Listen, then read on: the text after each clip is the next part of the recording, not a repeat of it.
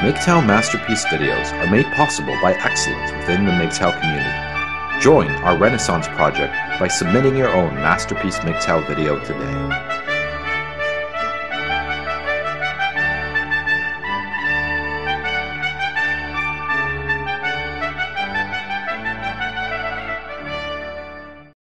This is an essay submitted as coursework in a philosophy undergraduate program. During the last several decades, contemporary ethical theories have taken a surprising turn with the introduction of a feminist oriented perspective. Although disagreement persists among feminist thinkers, one of the important aspects raised has been the distinction between the virtue of the public domain compared to those of the private domain. Traditionally, it has been a male oriented perspective grounded in an ethic of justice that has taken precedent over an ethic emphasizing the importance of personal relations, caring, attentiveness, sensitivity, and intimacy. An ethic that incorporates these aspects has most commonly been referred to as an ethic of care.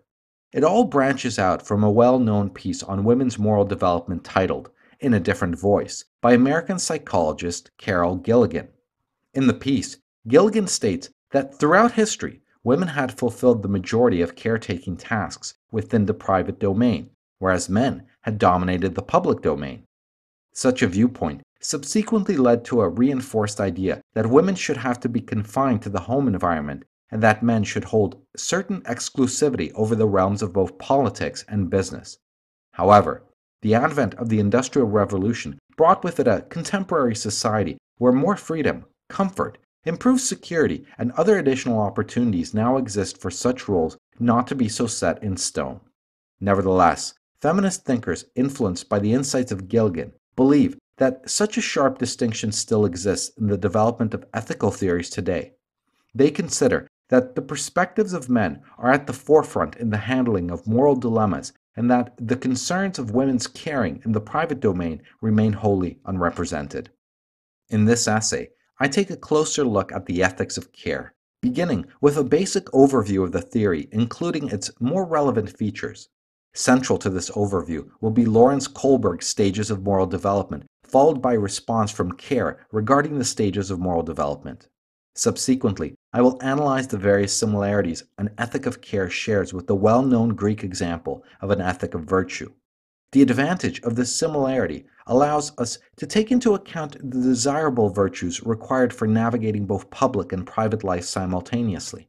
The inevitable challenge that arises, however, comes from a need to account for the difference between virtues presented in public and private life that may be desirable and undesirable. I suggest that the response rests in the need to address the so called bad forms of care that arise when private virtues cause problems in public life. In 1981, psychologist Lawrence Kohlberg published a paper titled The Philosophy of Moral Development Moral Stages and the Idea of Justice.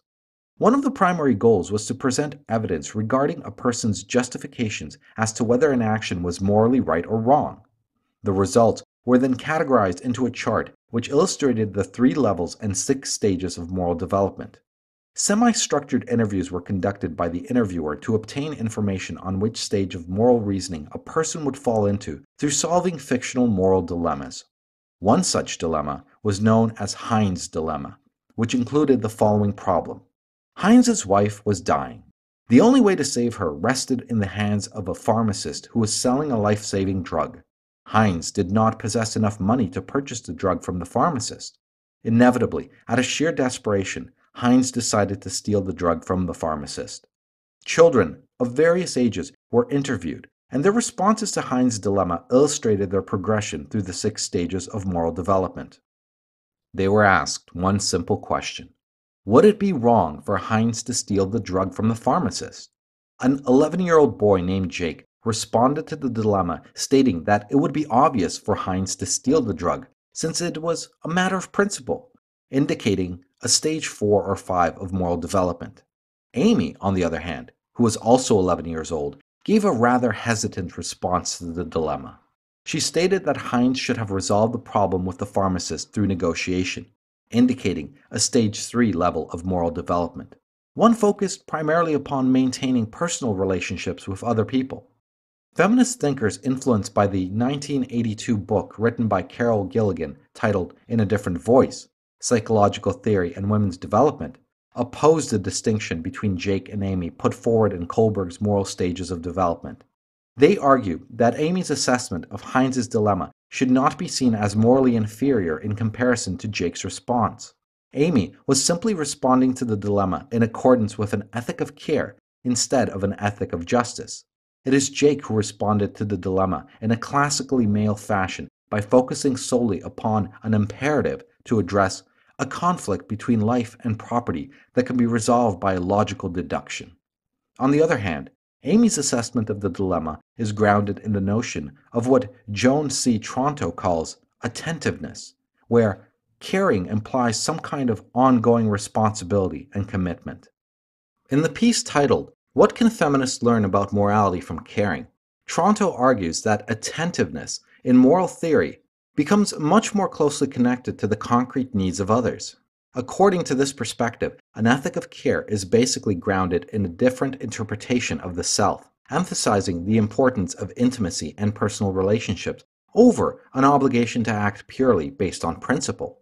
Tronto brings to light the original meaning of care in English, where care meant a burden, to care is to assume a burden. In a sense, the children's differing perspectives in resolving Heinz's dilemma illustrated the two forms of moral decision making that individuals undergo when assuming a burden during a time of desperation. Initially, it could be said that Amy's actions embody a caring perspective without question, while Jake's does not.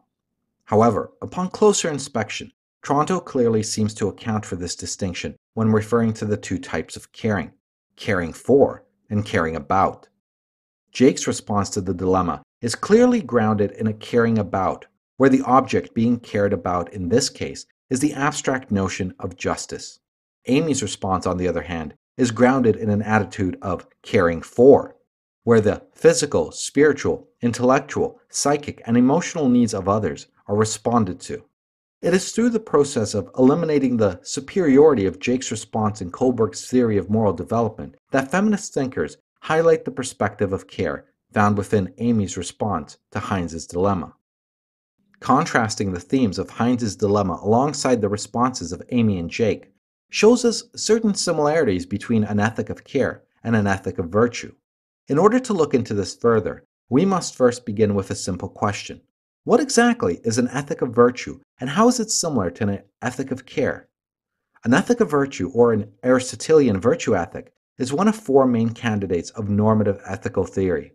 It considers a moral person as someone who possesses specific traits of character, for instance, courage, kindness, prudence, justice, and so on. Caring, as a virtue, in turn, becomes the central character trait in this regard. Additionally, we should investigate the full definition of care. Drawing from several definitions stated by Tronto, Held, Noddings, and Kittay, the definition of care can be summarized somewhat as follows. Care refers to a behavior apparent in the form of either labor or attitude whereby a burden of responsibility and commitment is redirected away from the self towards an individual in need of the care. An important aspect to note here is that the defining characteristic within the attitude of caring is that Carers act on behalf of others' interests, but they also care for themselves. This notion of caring on behalf of others implies that there is a response within the ethic of care to understand the needs of those cared for, which requires an additional matter of feeling rather than a response from rational cognition. Recognizing the centrality of feeling to the ethic of care presents us with a certain challenge, assuming that, of course, Feelings are not exactly the most reliable guides when it comes to developing a normative ethical theory. However, I will not discuss this challenge here, considering it is a hefty topic best explored another time. Instead, there is a need to focus upon how virtue ethics benefits in accommodating for the different virtues required for navigating both the public and private domains of life. Investigating the differences of virtues associated with public life compared to those of private life is a key component acknowledged by a large majority of past and present feminist thinkers.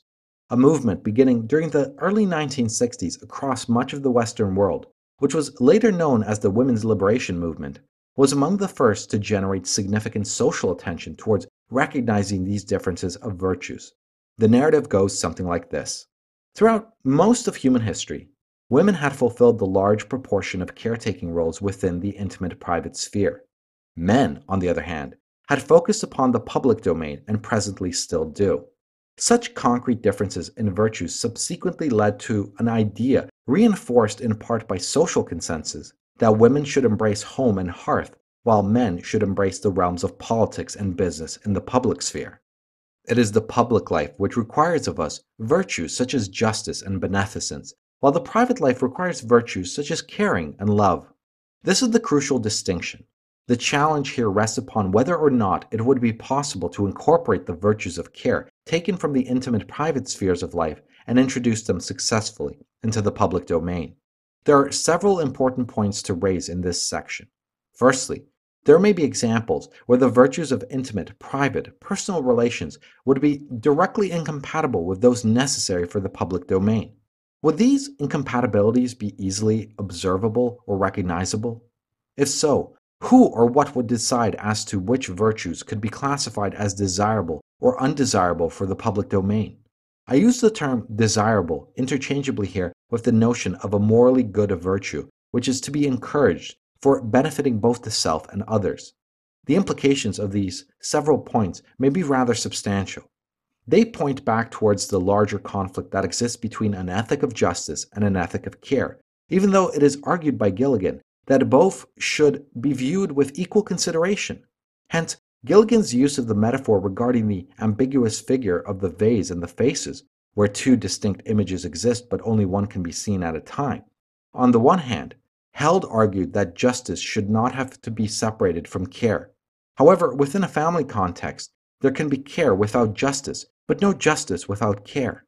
This points to some form of imbalance between the amount of value each virtue possesses and its contributory role, which is dependent upon the context of a public or private domain. This theme will be discussed further alongside an example in the following paragraph. Nonetheless, care is supposed to be the most deeply fundamental value that needs to be seen as a public concern, not relegated to the private responsibility of women. Understanding that this key component is inseparable from the rest of the ethic of care is crucial. It tends to be one of the major reasons as to why the ethic of care receives a considerable amount of attention in both the social and up until several decades ago, the philosophical discourse. Continuing on from the themes expressed in the previous discussion, we may be able to find an instance where a desirable virtue, commonly used in private life, conflicts and causes undesirable outcomes in public life. Take, for example, a scenario where a problem arises by caring about an individual in a manner that involves injustice. The most common example of this would include caring for an individual who is looking to rob a bank. It would appear as though caring about someone or something is not morally admirable unless such caring is tempered by other moral considerations. Immediately, what we should notice here is that such examples require of us to supplement an ethic of justice, since there is a need to find an immediate solution between the competing interests of two individuals. It may not be enough in such instances to simply refer exclusively to an ethic of care in order to solve the problem in question. This answer would seem to be in accordance with the desires of Gilligan, who clearly advocates for intertwining both rather than endorsing one as superior over the other. The example of the bank robber may also highlight a concern found within Tronto's notion of attentiveness, which was discussed in the care response to Hein's dilemma. Using the definition provided earlier in this paper, where care revolves around the activity or attitude of assuming a burden, it may appear that attentiveness has a significant cost when expressed in the public domain. This idea of cost tends to be interpreted primarily as a cost to the self. Being sensitive and attentive towards other individuals in public life comes as a cost to fulfilling one's own needs and ensuring one's own security. Where there is potential for cost to the self, rests a need to recognize and balance risk. Such an example may help to demonstrate why an ethic of care would require necessary assistance from an ethic of justice that adheres to strict principles. Overall, there are a number of similarities between an ethic of care and an ethic of virtue. A main advantage of this similarity is that an ethic of virtue seems well prepared to account for the differences between navigating both private and public life. This ability to account for the differences resonates well among feminist thinkers who argue that the traditional ethic of justice has taken precedent over an ethic highlighting the importance of caring roles and attentive behavior. The challenge rests in the need to incorporate intimate, caring virtues of the private sphere and successfully introduce them into the public domain, which has traditionally been dominated by a need for principle and justice. It appears as though a worthwhile response to the challenge would consist of addressing the so called bad forms of care, or undesirable virtues that were demonstrated in the bank robber example. Alongside an ethic of care is a need to factor in the problem of injustice. This is required in order to find solutions to problems that arise when private virtues, such as caring, cause problems in public life. Ultimately, what this information means to the MGTOW movement will clearly differ from individual to individual. However, there's a common theme, a thread that has significant ramifications for how men navigate the public realms of life, such as politics, law, business, and sexual reproduction.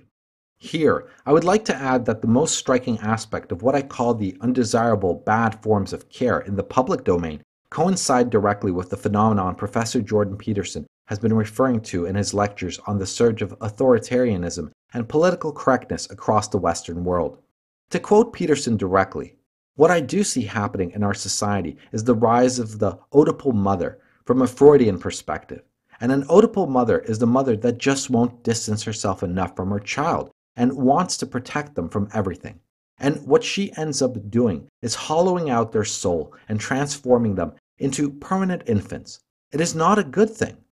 All of this comes down to the notion that for the first time in human history, we are witnessing what the desirable and undesirable aspects of female morality and an ethic of care are when expressed for all to see in the public domain. Like most great things, it is both fascinating and terrifying to watch. The end. I wanted to inject some of my own thoughts on this essay as I had previously put out a series on feminist ethics. The first point to note is that there is no reconciling of a feminist ethic of care with an ethic of justice. The reason for this rests in the ontic priority of justice and care in both systems. In a virtue ethics, justice is the ordered conduct between people. Justice is the highest authority that governs the conduct between people. All other considerations are delegated to a distant second place. In an ethic of care, it is care that is given ontic priority. Care becomes the highest standard against all human interactions that are measured. As you can see, you cannot build a unified system when you have two masters. As such, it should be noted that the feminist ethic of care is a competing ethical normative model. Either the feminist ethic of care is correct or virtue ethics is correct. However, if the feminist ethic of care is correct, then it follows that there exist unjust human interactions that are moral. Now, I doubt anyone would accept this even at face value. In virtue ethics, care, as a form of emotionally informed affectation, would fall under the virtue of fortitude. Though fortitude is a cardinal virtue, justice is not subservient to fortitude. As such, justice is fundamentally emotionally free. Therefore, in a virtue ethics, emotions have no bearing on justice, and it is to be guarded to ensure that emotions have no bearing on determining what is the correct ordered conduct between people. The best example of the feminist ethic of care in practice is the immigration policies of Sweden and Germany. Care is prioritized over justice. The final result will be that you end up with neither justice nor the resources to care for anyone at all.